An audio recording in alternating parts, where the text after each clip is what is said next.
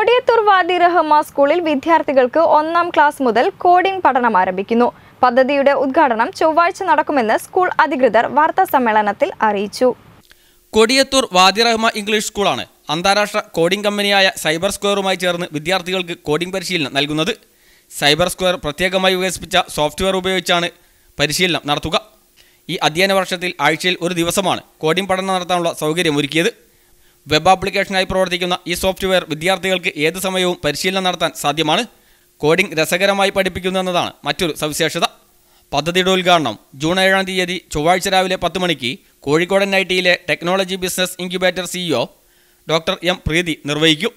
Cyber Square school relationship officer Souma Mariya Sojan പദ്ധതി വിശദീകരണം നടത്തും.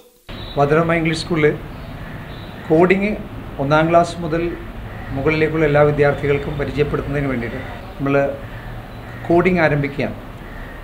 സൈബർ സ്ക്വയർ ഒരു ഇന്റർനാഷണൽ ഓർഗനൈസേഷനാണ് വ്യത്യസ്ത സ്കൂളുകളിൽ ദുബായിലും യു കെയിലൊക്കെ ഓഫീസുള്ള ഈ സ്ഥാപനത്തിന്റെ ആ ആഗോള പരിചയം അതിലൂടെ വിദ്യാർത്ഥികൾക്ക് ഏറ്റവും നൂതനമായ കോഡിംഗ് ക്ലാസ്സുകൾ ലഭ്യമാക്കുക എന്നുള്ളതാണ് വാതിരമ്മയുടെ ലക്ഷ്യം.